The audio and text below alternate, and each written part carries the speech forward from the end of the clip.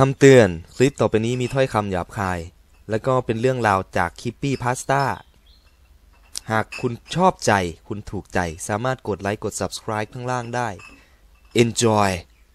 กราบสวัสดีท่านผู้ชมด้วยนะครับผม อยู่กับผมสิวาตนะครับ เย่แล้วก็รายการสาระแทบไม่มีนะครับ สาระแทบไม่มี EP นี้นะครับ จะเป็น creepypasta ละกันนะครับ เพราะว่ามีน้องหลายคนขอมานะครับ ก็ จัดให้เป็น EP น้องขอมาพี่จัดให้นะครับ เพราะเรื่องบางเรื่องนี่ก็อาจจะยังไงดีอะพี่ว่ามันมันมันยังไม่ค่อยน่าสนใจมากนะครับ แต่แอะไม่เป็นไรขอมาก็จัดให้นะครับ ซึ่งเรื่องที่น้องๆขอมาก็เป็นเรื่องอ่า Jeff the Killer นะครับอ่าอ่ารู้สึกว่ามันหนึ่งมันไม่ค่อยเท่าไหร่สองมันน่าจะสั้นไปนะครับ พี่ก็เลยจัดให้เป็นคริปปี้พาสต้าซะเลยนะครับผมแฮ่จะได้รวมๆกันไปนะครับคริปปี้พาสต้านะครับก็จะเป็นเรื่องแต่งนะครับเรื่องแต่งสยองขวัญ ซึ่งก็ได้เล่าไปแล้วประมาณ 2-3 เรื่องนะครับ เช่นเรื่องอ่าอ่า Red Eye นะครับ Red and White นั่นเองแล้วก็อีกเรื่องหนึ่งก็ Username 666 นะครับผมเนี่ยอันนี้ก็จะมี Jeff the Killer นะครับ แล้วก็ เดี๋ยวอีก 2 อันดับ เดี๋ยวจะตามมานะครับ แบบว่ากักไว้ก่อนนะครับอย่าเพิ่งรู้เดี๋ยวผมเล่าให้ฟังเองนะครับผมโอเคเรื่องที่1นนะครับ The Roommate ครับผมเรื่องเล่านี้นะครับก็เป็น ตำนานเมืองกันเลยทีเดียวนะครับ ผมที่เล่าลือกันในหมู่นักศึกษาระดับวิทยาลัยนะครับ ต้นกำเนิดของเรื่องนี้ก็ยังไม่แน่ชัดนะครับ แต่ก็เริ่มเป็นที่รู้จักกันเมื่อราวๆปี 1997 นะครับกล่าวถึงสองสาวซึ่งเป็นรูมเมทกันนะครับขนาดกำลังขมักขม้นติวหนังสือเพื่อสอบมิดเทอมในวันรุ่งขึ้น สาวหนึ่งเริ่มอ่อนล้านะครับ จึงขอตัวไปนอนก่อน ขณะอีกคนหนึ่งก็ยังคร่ำเคร่งต่อเพราะอยาก ให้คะแนนสอบออกมาดี จนกระทั่งดึกดื่น เธอนึกขึ้นมาได้ว่าทิ้งหนังสืออ้างอิงที่ต้องการใช้นะครับ ไว้ในห้องของเพื่อนสาว ด้วยความที่ไม่อยากรบกวนเพื่อนที่นอนอยู่หญิงสาวจึงย่องเข้าไปเงียบๆนะครับ แล้วก็พยายามควานหาหนังสือที่ต้องการในความมืดโดยที่ไม่เปิดไฟนะครับทันใดนั้นหูก็แววสำเนียงได้ยินเสียงหายใจหนักๆนะครับ มาจากทิศทางของเตียง จึงกระซิบเรียกชื่อเพื่อนดูเบาๆนะครับเพราะนึกว่าเผลอทำให้เพื่อนตื่นนะครับ แต่ก็ไม่มีเสียงขานรับ แต่กันนั้นก็คงยังได้ยินเสียงขยับเคลื่อนไหวในความมืดนะครับ จึงถามต่อไปว่าอ่ากูเปิดไฟหน่อยได้ไหมนะครับ ก็กูอยากจะหาของนิดนึงนะครับ ก็ยังไม่มีเสียงตอบรับเช่นเดิมนะครับ คิดว่าเพื่อนสาวคงอ่าแค่พลิกตัวนะครับ เธอจึงควานหาในความมืดต่อไป จนกระทั่งเจอหนังสือที่ต้องการ จากนั้นจึงย่องแผ่วเบาออกจากประตูเพื่อกลับไปอ่านหนังสือต่อ และทบทวนความรู้เตรียมสอบไป จนกระทั่งถึงเช้าเลย แต่เมื่อถึงเวลาสอบ เธอกลับไม่เห็นเพื่อนของเธอนะครับมาที่ห้องสอบด้วยหญิงสาวคนนี้เป็นกังวลมากห่วงว่าเพื่อนจะไม่สบายหรือเป็นอะไรไป เมื่อกลับถึงบ้านนะครับ จึงรีบเข้าไปหาเพื่อนในห้องนอนนะครับ แล้วก็เจอกับภาพชวนสยดสยองนะครับ ก็เป็นภาพรูมเมทของเธอนะครับ ทอดร่างไม่ไหวติงนอนจมกองเลือดอยู่บนเตียงนะครับ เพื่อนของเธอถูกฆาตกรรมนะครับผมเธอตะลึงอยู่พักหนึ่งก่อนจะได้สติ และรีบหันหลังเพื่อไปแจ้งตำรวจนะครับ แต่สายตากลับเห็นอะไรบางอย่างที่กำแพงเข้าเสียก่อน บางอย่างที่ทำให้เธอรู้สึกเย็นสลังขึ้นมาโดยฉับพลันนะครับ บนกำแพงมีอักษรปรากฏเขียนด้วยเลือดนะครับ ที่อ่านได้ใจความว่าดีใจไหมที่ไม่เปิดไฟนะครับ เรื่องที่สอง Jeff the Killer นะครับผมอ่าน้องๆขอมานะครับ ลักษณะของ Jeff the Killer นะครับ ก็คือชายผมดำใส่เสื้อกันหนาวนะครับ สีขาว ส่วนผิวก็จะขาวซีดนะครับ บางตำนานก็ว่าใสไปเลยนะครับ ใส่กางเกงยีนสีดำรองเท้าสีแดงขาว ลักษณะหน้าตาก็คือตากลมโต ปากฉีกเกือบถึงใบหู เอาง่ายๆหน้าตาน่ากลัวนะครับ เจฟนั้นเมื่อวัยเด็ก มีแผลลึกฝังใจร้ายแรงนะครับ ก็คือสรุปว่าประมาณว่าไปสู้เพื่อปกป้องคนอื่นนะครับ แต่โดนทำร้ายจนปากฉีก แถมโดนแม่โกหกหลอกลวงนะครับ ทุกคนในครอบครัวเกลียด เห็นว่าเป็นตัวประหลาดนะครับ นั่นคือแผลในใจ ซึ่งเป็นตัวจุดชนวนให้เขากลายเป็นฆาตกร เขาเริ่มออกฆ่าคนครั้งแรก เมื่อหลังหนีออกจากบ้านได้ไม่นานนะครับ ผู้คนเรียกเขาว่าฆาตกรปริศนานะครับ ซึ่งก็มีเรื่องราวที่เรียบเรียงได้ประมาณนี้นะครับผมหลังจากสัปดาห์ที่มีการ ฆาตกรรมสยองต่อเนื่องเกิดขึ้นนะครับในรัฐรัฐหนึ่ง ผู้คนต่างหวาดกลัวนะครับกับฆาตกรปริศนาดังกล่าวตำรวจในรัฐได้รีบเร่งหาหลักฐานและเบาะแสเพื่อจับคนร้ายนะครับผม พวกเขาได้หลักฐานเพียงเล็กน้อย แต่ก็ได้เจอผู้รอดชีวิตรายหนึ่ง ซึ่งเขาได้ต่อสู้กับฆาตกรปริศนาอย่างกล้าหาญนะครับ จนสามารถรอดออกมาได้ เขาจึงมาให้ปากคำกับตำกับตำรวจนะครับผม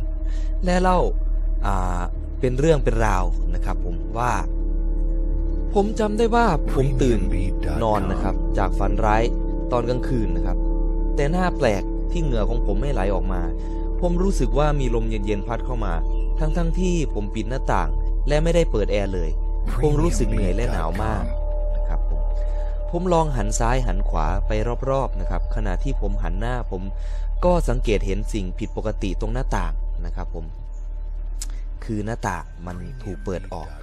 ทั้งๆที่ผมปิดมัน ขณะที่ผมกำลังจะนอนนะครับ ก็รู้สึกเซ็งเล็กน้อยนะครับ พยายามคิดว่าวันนี้ลมแรงนะครับ ลมอาจจะพัดหน้าต่างจนเปิดก็ได้นะครับ ทั้งๆทที่หน้าต่างแม่งเป็นหน้าต่างบานเลื่อนนะครับ ผมซึ่งลมไม่สามารถพัดจากาด้านข้างนะครับ เพื่อให้มันเลื่อนเปิดได้อยู่แล้วนะครับ แต่ผมก็พยายามคิดให้ตัวเองใจเย็น แล้วก็ลุกขึ้นไปปิดหน้าต่างอีกครั้ง พอปิดหน้าต่างเสร็จนะครับ ก็กลับมานอนที่เตียง ขณะที่ผมนอน ผมมีความรู้สึกประหลาดที่ว่าเหมือนมีใครจ้องมองผมอยู่ตลอดเวลา ผมนอนไม่หลับเลยนะครับ จึงเงยหน้าขึ้นไปอมองตรงเพดานนะครับ แล้วก็ต้องตกใจสุดขีดนะครับ เมื่อมีคนบางคนเอาสายตาอันน่าสยดสยอง จ้องมองผม เขาคนนั้นเกาะอยู่ตรงช่องแคบที่เพดาน ผมเริ่มเซ็งเริ่มสยดสยองหนักเข้าไปอีก เมื่อเห็นรอยยิ้มของเขา ปากเขาฉีกเป็นสีแดงเกือบถึงติ่งหู เขากระโดดลงมาท้ายเตียงของผม พูดประโยคสั้นๆว่า มึงไปนอนซะ มึงหลับลงซะนะครับ เขากล่าวพร้อมกับรอยยิ้มอันน่ากลัว กล่าวจบ เขากระโดดเล็งมีดเข้ามาที่ผมนะครับ เข้ามาเล็งตรงที่หัวใจผม ผมหลบและก็พยายามต่อสู้กับเขา ผมรีบวิ่งไปเคาะตรงประตูหน้าห้องพ่อ เพื่อให้พ่อช่วย แต่เขาตามผมมาแล้ว ในขณะนั้นก็เป็นจังหวะเดียวกันกับที่พ่อผมเปิดประตูออกมา เขาคนนั้นปามีดโดนไหล่พ่อผม และเขาก็อาจจะฆ่าผมกับพ่อไปแล้วก็ได้นะครับ หากคนในบ้านไม่โทรไปแจ้งตำรวจ ผมรีบพาพ่อผมมายังโรงรถ เพื่อขี่รถพาพ่อไปโรงพยาบาล ขณะที่ขี่รถออกมานะครับ ก็เห็นชายคนดังกล่าว วิ่งด้วยความเร็วมากนะครับตามถนน ลักษณะของเขาคืออผู้ชายผมดำผิวขาวซีด ใส่เสื้อกันหนาวสีขาว ใส่กางเกงยีนสีดำและใส่รองเท้าสีขาวแดงเขาหันหน้ากลับมาพร้อมแสยะยิ้มอันน่ากลัวนะครับ ซึ่งเขาต้องกลับมาหาผมและก็ครอบครัวอีกแน่ๆนะครับ ความสามารถของเขาคือนะครับเขาเป็นคนที่อึดมาก ทนพิษบาดแผลได้สบาย แป๊บเดียวแผลก็หายนะครับ ผมตายยากนะครับวิ่งเร็ว ความสามารถสูงและก็เป็นคนบ้าคลั่งเสียสตินะครับชื่อของเขาคือ Jeff the Killer นะครับผม เรื่องราวก็เงียบไปสักพัก หลังจากที่เล่าจบ ทุกคนในสถานีก็ถูกฆ่าตายอย่างน่าสยดสยองนะครับ และนี่คือเรื่องราวของ Jeff the Killer นะครับผม เรื่องที่ 3 The Licked Hand นะครับ หรืออีกชื่อหนึ่งนะครับก็ Human c a l i c 2นะครับก็เป็นตำนานเมืองนะครับที่ค่อนข้างนิยมมากทีเดียวเลยนะครับในหมู่วัยรุ่น และก็เป็นเรื่องราวที่มีหลายเวอร์ชั่นมากนะครับ ก็ยังไงดีก็เรียบเรียงลำบากเหมือนกันนะครับผมก็เรื่องราวนะครับกล่าวถึงหญิงสาววัยแรกแย้มคนหนึ่งนะครับ อายุราวๆ 14-15 นะครับ โดยประมาณ ส่วนใหญ่นะครับมักจะระบุว่าเธอเป็นเด็กสาวสวยน่ารักนะครับ สาวน้อยนี้ก็มีเหตุที่ต้องอยู่เฝ้าบ้านคนเดียวเนื่องจาก พ่อและแม่ของเธอจำเป็นต้องไปทำธุระที่ต่างเมือง และจะกลับมาในตอนสายๆของวันรุ่งขึ้นนะครับ ถึงจะกังวลกับการที่ต้องปล่อยให้ลูกสาวสุดที่รักออยู่บ้านคนเดียว แต่ก็ยังพออุ่นใจอยู่บ้างนะครับ เพราะอย่างน้อยก็ยังมีเพื่อนนะครับ คือสุนัขตัวโตที่เลี้ยงไว้นะครับ ส่วนใหญ่ก็จะเป็นเอ่อเอ่อยังไงเดียพวกพันธุ์เยอรมันเชฟเพิร์ดนะครับผม กันนั้นก็ยังไม่วายกำชับนักกำชับหนานะครับว่าพอค่ำมืดแล้วให้เธอปิดประตูปิดหน้าต่างทุกบานให้ดีๆนะครับคืนนั้นเวลาผ่านไปค่อนข้างดึกอ่าสาวน้อยคนนี้ก็ปิดล็อกประตูหน้าต่างทุกบานในบ้านนะครับยกเว้นหน้าต่างบานหนึ่งอของชั้นล่างที่ปิดยังไงก็ปิดไม่ได้นะครับ บางตำนานก็ว่าปิดได้แต่ล็อกไม่ได้นะครับ เธอจึงตัดสินใจปล่อยมันทิ้งไว้นะครับ แต่ก็ปิดล็อกประตูในห้อง นั้นแทน จากนั้นก็ขึ้นไปยังห้องนอนชั้นบนนะครับ ก็เอาเจ้าหมาคู่ใจขึ้นไปด้วยนะครับ ซึ่งเจ้าหมานี้ก็จะมุดเข้าไปอยู่ใต้เตียงนะครับ ซึ่งเป็นที่นอนประจำของมัน สาวน้อยเข้านอนด้วยความไม่สบายใจเท่าใดนัก เธอจึงยื่นมือลงมานะครับ หาบริการของเธอเพื่อตรวจสอบให้แน่ใจว่ามันยังอยู่ใต้เตียงไม่ได้หนีไปไหนนะครับ มันก็เลียมือเธอตอบอย่างเคยทำให้เธอรู้สึกเบาใจแล้วก็พลอยหลับไป เด็กสาวตื่นขึ้นมากลางดึก เพราะได้ยินเสียงอะไรบางอย่างนะครับ เมื่อแย่งหูฟังดีๆ ก็ประมาณว่าเป็นเหมือนเสียงหยดน้ำนะครับ ดังติ๋งติ๋งๆนะครับมาจากในห้องน้ำที่อยู่ติดกับห้องนอนของเธอนะครับ